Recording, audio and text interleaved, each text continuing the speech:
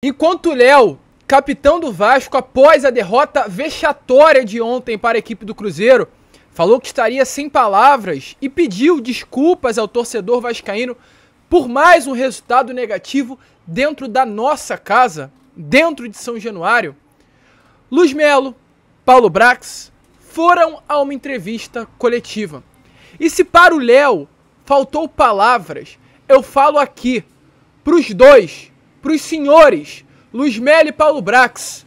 Falta competência, falta caráter, falta profissionalismo e falta principalmente para os senhores Vasco da Gama.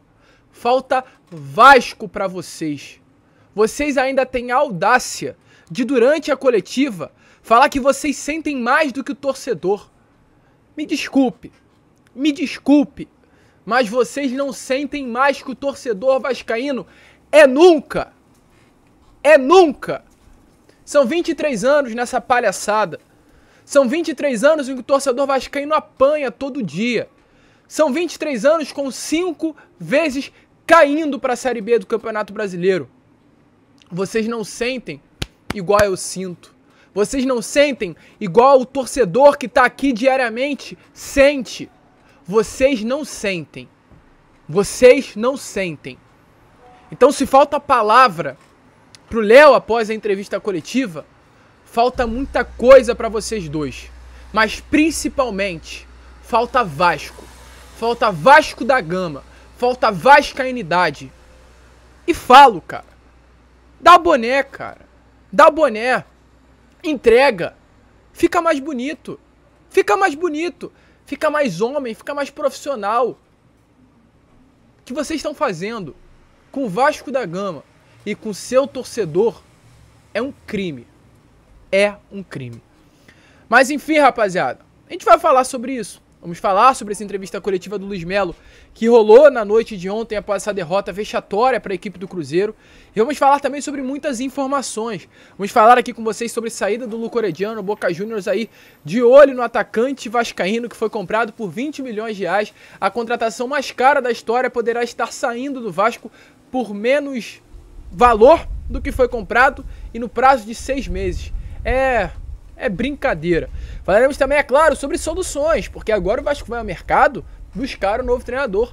O Luiz Melo prometeu que durante essa semana teríamos um novo nome. A gente vai trazer informações aqui a vocês. Torcedor, é uma corda Vascão duro. É uma corda Vascão chato demais ser feito. Mas a gente vai estar tá aqui. A gente não vai desistir do Vasco, não. Eu tenho certeza que você que está aí do outro lado também não irá desistir. Então é o seguinte: de Vascaíno para Vascaíno agora. Um papo reto se inscreva, cara. Se inscreva. Sabe por quê? Porque vamos ter duas semanas aí pela frente sem nenhum jogo do Vasco. As duas semanas mais importantes desse ano, dessa temporada. E posso ser sincero com você? Você é burro, cara. Eu sou burro. Todos nós somos burros. Todos nós somos malucos, doentes. A gente não consegue ficar longe. Você vai conseguir ficar longe? Não vai. Tu pode tirar a inscrição do meu canal hoje, mas amanhã você vai estar aqui de novo. Sabe por quê? Porque nós somos malucos por esse clube. Então se inscreva, cara. Não vira as costas. Essa é a hora de a gente cobrar, essa é a hora de a gente criticar, essa é a hora de a gente buscar mais informações é pelo Vasco.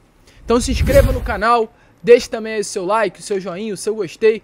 E como eu sempre falo aqui no canal, aqui embaixo, ó, ative o seu sininho de notificação e deixe nos comentários. Aqui é Vasco, cara. A gente vai até o final por esse clube. Mas vambora, rapaziada. Sem muita enrolação, fala logo de Vasco da Gama, gente. E eu não posso começar esse Boa Noite Gigante de outra maneira que se não falando sobre essa vergonha. Eu vou, vou falar sim, não vou falar derrota, vou falar vergonha que aconteceu ontem em São Januário. Para o Cruzeiro, às 4 horas da tarde, o Vasco perdeu pelo placar de 1 a 0. O Vasco chegou 9 vezes ao gol do Cruzeiro, enquanto o Cruzeiro chegou 7 ao gol do Vasco. Mas é a tal da eficiência, a tal da qualidade, a tal do diferencial.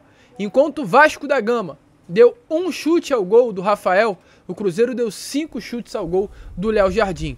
Um desses entrou. Aos 49 minutos do primeiro tempo, um gol de falta do Felipe Machado marcou o único gol da partida que deu a vitória à equipe de Belo Horizonte. Muitas pessoas aí falhando que foi falha do Léo Jardim, falando que foi falha, né, do Léo Jardim com todo respeito eu prefiro nem falar sobre esse lance. Esse lance. Quanto que o Léo Jardim já ajudou o Vasco aí nesse Campeonato Brasileiro, quantas partidas éramos para ter perdido se não fosse as defesas milagrosas aí do nosso goleiro. E, cara, a culpa não é dele. Verdade mesmo, na boa. Quando a gente tem que criticar, a gente critica. A culpa não é do Léo Jardim. Vamos bater, nós vamos criticar em quem não merece ser criticado. A culpa não é do Léo Jardim. Pode ter falhado? Pode. Mas no geral, no geral, a culpa não é dele. O Vasco não fez gol, o meio-campo não funcionou, o ataque não funcionou, nada funcionou. Então não vamos pegar alguém para Cristo, como é o ditado. Não vamos utilizar alguém aí como mártir em mais um jogo ruim, porque não é culpa do Léo Jardim. E com essa derrota, infelizmente, o Vasco cai para a 19 colocação, pois como a gente já vem comentando, se Coritiba e América Mineiro vencerem os seus jogos, o Vasco irá cair o Vasco poderia chegar até a lanterna do Campeonato Brasileiro. E o Coritiba venceu a equipe do América Mineiro ontem. Ultrapassou o Vasco da Gama, chegou à 18ª colocação e o Vasco caiu para a 19ª.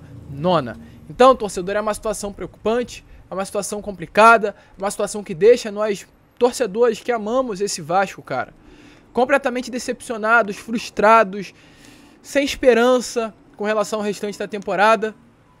E a gente sente, a gente sente muito. Essa é a grande realidade. A gente sente pra caramba.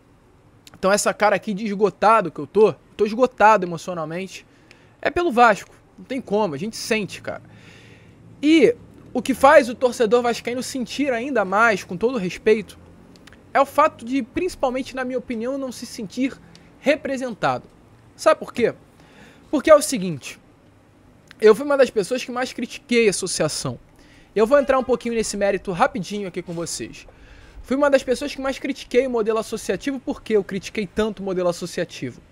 Porque nos últimos 23 anos em que o Vasco passou sendo um modelo associativo, o Vasco foi completamente usurpado. Surrupiado, sarrapiado, não sei a palavra correta, acho que é surrupiado. Foi destruído por interesse político. Jogo de poder, interesse por poder. Essa é a realidade, cara. Vamos ser coerentes também conosco. O Vasco foi destruído por causa de poder. Tem uma frase de um personagem político que eu não vou nem citar aqui, senão as pessoas já vão começar a associar a minha imagem a ele. Eu não quero associar minha imagem a personagem político nenhum. Mas foi uma realidade falada. É poder pelo poder. Isso foi dito na última eleição. Então foram 23 anos de poder pelo poder. E eu acho que tinha uma hora que deu chega, deu basta. Porque não dava mais para ficar nesse poder pelo poder. Eleições com eleições, vem eleição, vai eleição, é briga judicial. O torcedor cansou disso. Então acho sim que a SAF era uma solução. Mas sabe o que era legal, era importante, era diferente no modelo associativo? Que a gente sabia que poderiam ter erros, poderiam ter dificuldades, poderiam ter problemas, poderiam ter rebaixamentos, mas quem estaria sentado ali na cadeira de presidente era um torcedor do Vasco igual a gente. A gente criticava o Eurico, mas a gente sabia que o Eurico era Vasco pra caraca. A gente criticava o Roberto quando era presidente, mas a gente sabia que o Roberto era Vasco pra caramba. E sabe qual é o grande problema hoje? Que a gente olha para a figura do Paulo Brax e do Luiz Melo, CEO e diretor de futebol da SAF do Vasco da Gama. E sabe qual é o problema? É saber que eles não são Vasco. Eles não são Vasco. Passa longe de ser Vasco.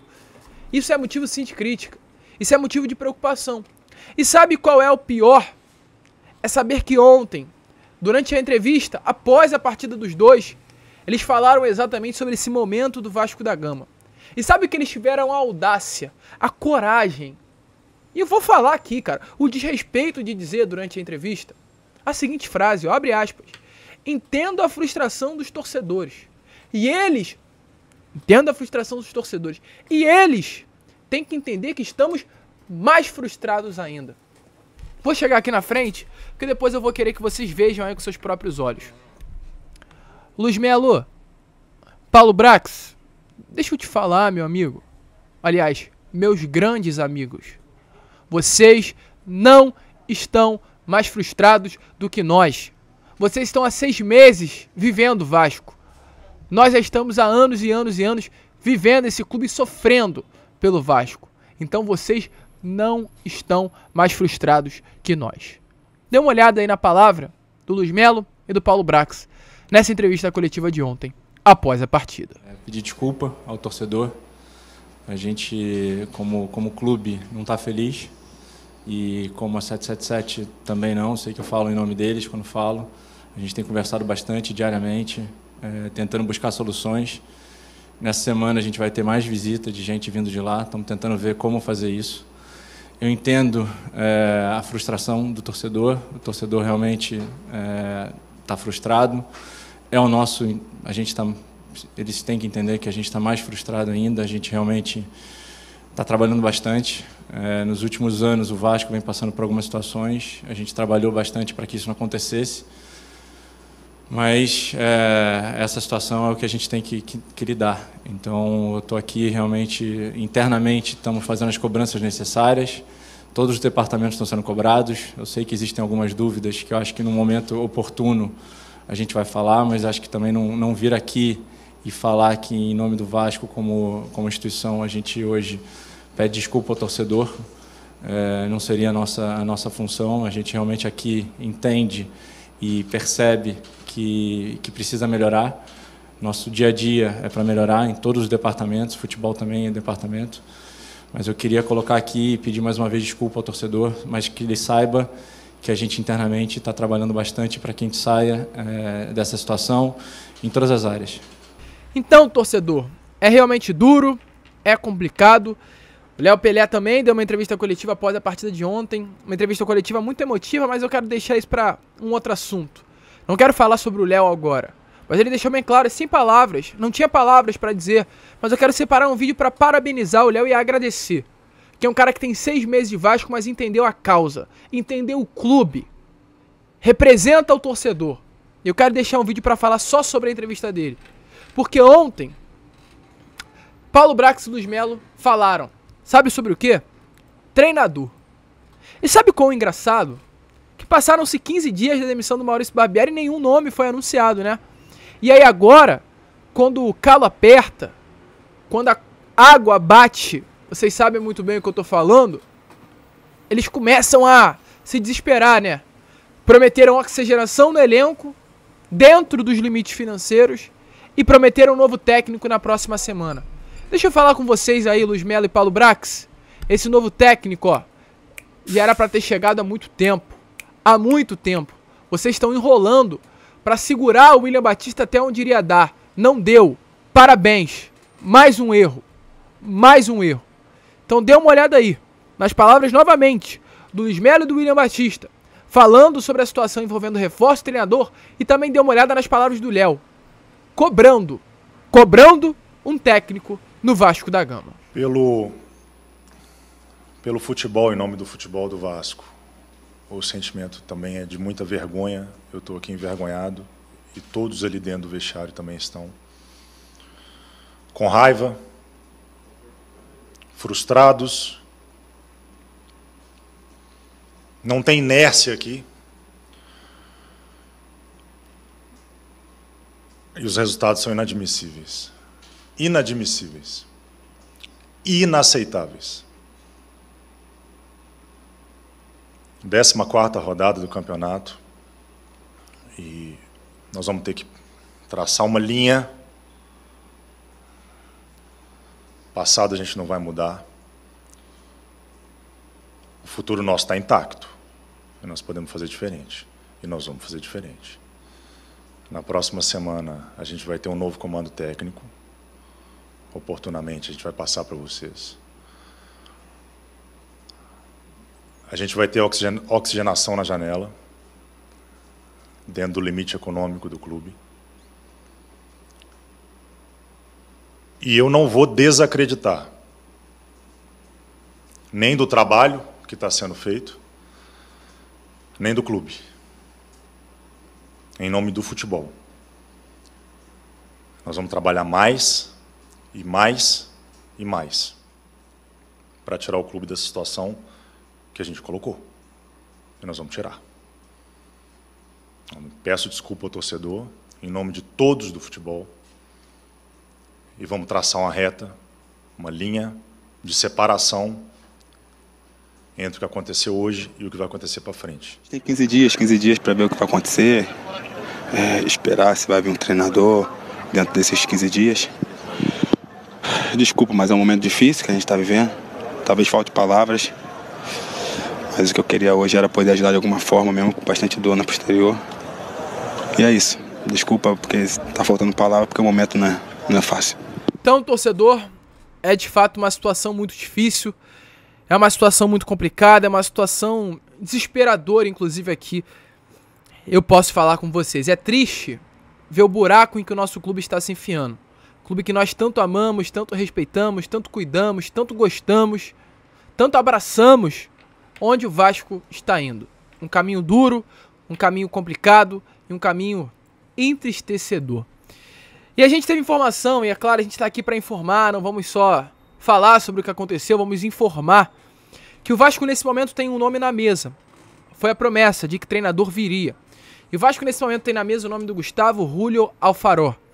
60 anos, argentino, com passagens por Atlético Rafaela da Argentina, Quilmes da Argentina, São Lourenço, Arsenal de Sarandi, Boca Juniors e a seleção do Equador, onde disputou a última Copa do Mundo. Foi o técnico da seleção do Equador na Copa do Mundo de 2022. Informação que nós temos é que o Vasco abriu conversas com esse nome. Ontem o Paulo Brax foi visto, inclusive em São Januário, conversando no telefone antes do início da partida contra a equipe do Cruzeiro. Negociações já estão em curso e a expectativa é que nessas próximas horas de domingo isso venha a ser ainda mais intensificado pela procura urgente que o Vasco busca por um nome no mercado. Então a expectativa sim é que um técnico chegue nos próximos dias. Bateu. A água bateu. E agora eles estão correndo quanto antes para definir quem será o novo nome. Além disso, outras informações aqui rápidas a vocês. É tanta. É tanta. Cara, é tanto erro, é tanto. É tanta falta de convicção, cara. É, o Paulo Brax na coletiva falou que tinha convicção nas suas atitudes, mas não tem. Sabe por que não tem?